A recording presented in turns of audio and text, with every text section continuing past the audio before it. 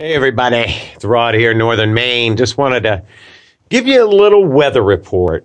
We haven't had much snow since uh, Thanksgiving, and I mean, Christmas is next week, but has it been cold?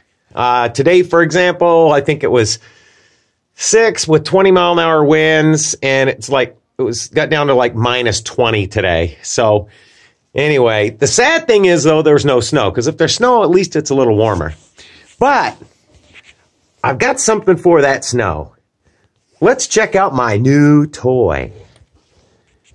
My brand, well, not brand new, used to me, Kubota 1870 tractor, diesel, with a blower.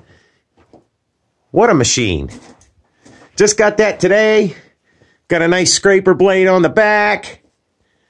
So, it's going to be me and my new toy running up and down the roads, moving snow. So everybody out there, stay warm if you're up here in northern Maine, and if not, you probably are warm because it ain't minus 20 where you're at. Have a good day. Don't forget to subscribe and like.